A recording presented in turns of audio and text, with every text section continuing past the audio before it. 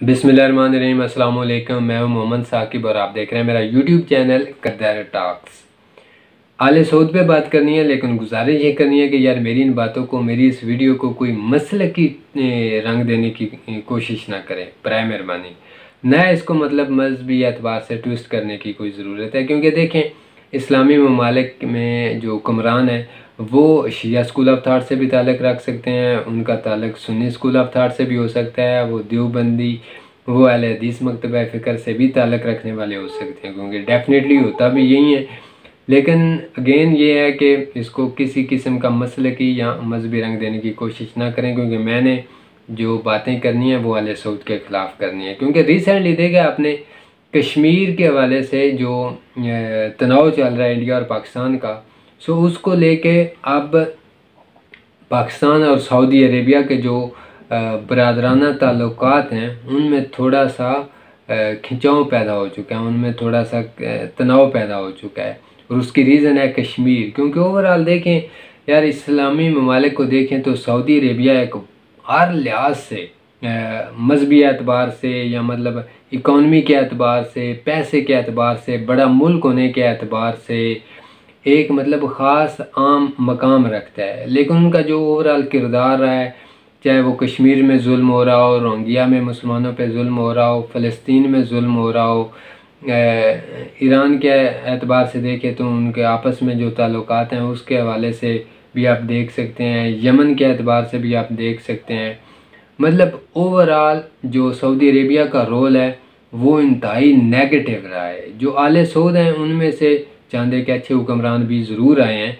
लेकिन mostly overall वो इंतहाई याश किस्म के लोग हैं।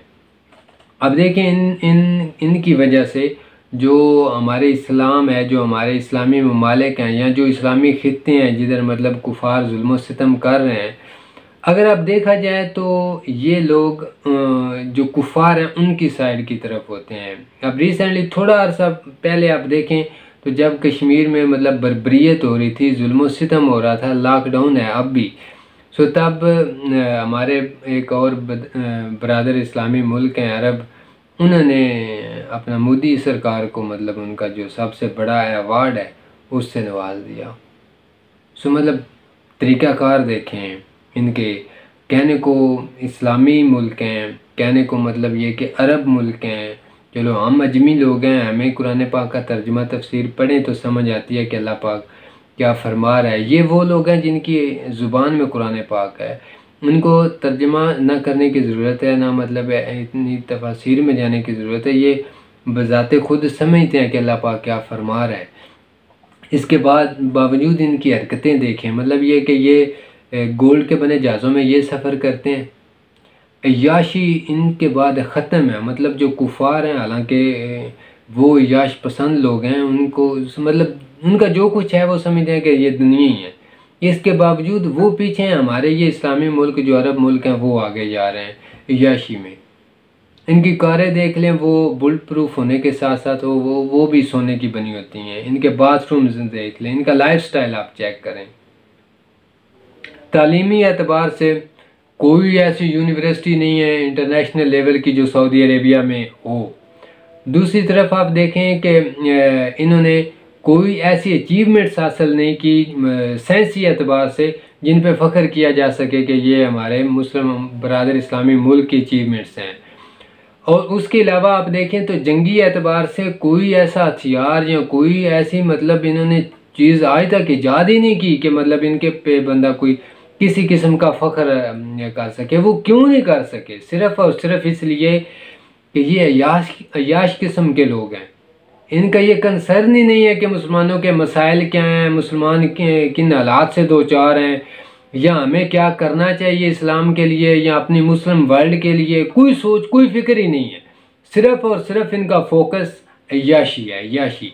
और ये याश इतने हैं कि जो कुफार हैं जिनका सारा मतलब जो भी वो समझते हैं कि दुनिया ही है, जो कुछ है, इनकी ज़िंदगी है, जो कुछ है वो जितनी मर्ज़ी याशी कर लें, लेकिन वो इन सऊदी जो मतलब जो ये अरबी हैं, उनसे वो मतलब अशर उशर शीर भी नहीं होगी उनकी याशी, जितने ये ये लोग याश किस्म के हैं।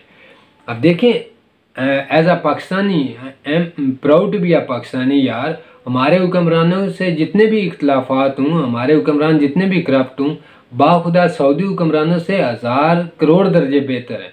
कम अज़ कम पाकिस्तान को यार, एक एटमी मुल्क तो बना दिया। हम किसी के आगे ऐसे लेट नहीं जाते कि कोई छोटा सा बयान अमेरिका की तरफ़ से या इसराइल की तरफ़ से आ जाए तो हम बिल्कुल लेट जाएँ। नहीं, हम ऐसा नहीं करते, बल्कि हम तुम जैसे मुल्कों को, सऊदी अरेबिया को हमारी अफवाह डिफेंड करती है। हम एज आ इस्लामी एटॉमिक पावर मुल्क, हम तुमको डिफेंड करते हैं। और ये जो तुम डॉलर देते हो ना, तुम्हें बड़ा गरूर है अपनी इकॉनमी पे, अपने पैसों पे। ये कोई एहसान नहीं करते, ये कोई वन साइड हेल्प नहीं करते। हमारी बड़ी खिदमात हैं तुम्हें बचाने में। तुम्हारे सर्वाइवल में हमारी बड़ी खिदमात हैं पाकिस्तान की। सो अब ये जो मतलब देखें यार पाकिस्तान ने क्या मुतालबा किया कि आप कश्मीर के हवाले से एक पॉलिसी मतलब ओ का इजलास बुलाएँ और अपना पुलिस स्टेटमेंट हम जारी करें। जिसका मतलब थोड़ा इम्पैक्ट हो, लेकिन इसने इनकार कर दिया। फ़लस्तीन के अतबार से ये इसराइल पे बिल्कुल भी किसी किस्म का दबाव नहीं बढ़ाता। तो मतलब यार, ये कोई करने वाली बात है? आप इतना बड़ा इस्लामी मुल्क हो, आपका इतना बड़ा एक तशखस है overall all over the world उसके बावजूद मतलब आप ऐसी लाइन को फॉलो करते हो जो कि मुसलमानों के ख़िलाफ़ होती है और कुफार के हक में होती है। सो अगर मतलब थोड़ी बहुत शर्म होने, हो तो ये मतलब डूब मरने का मकाम है सऊदी हुक्मरानों के लिए कि मतलब वो कर क्या रहे हैं? यार, ये ज़िंदगी सज़ा तो नहीं रहेगी। मरना हिसाब किताब होना है यार। मतलब इंतहाई अफसोस की बात है सीरियसली कि मतलब देखें कि पाकिस्तान जैसा इस्लामी मुल्क, आपका ब्रादर मुल्क जो हर तरह से आपको हेल्प आउट करता है, ठीक है, आप यार हेल्प आउट करते हैं।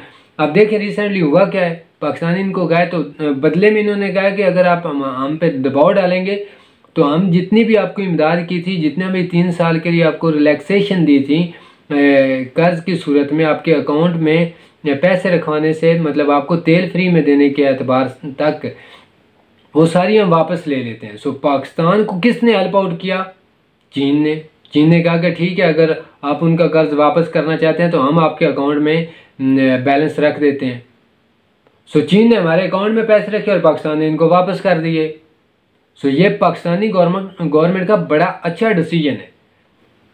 सो अच्छा तो ये होगा कि जैसा उजम है, सऊदी अरेबिया का जैसा रोल उसको अदा करना चाहिए पॉजिटिव इस्लाम के हक़ में, इस्लामी खितों के हक़ में।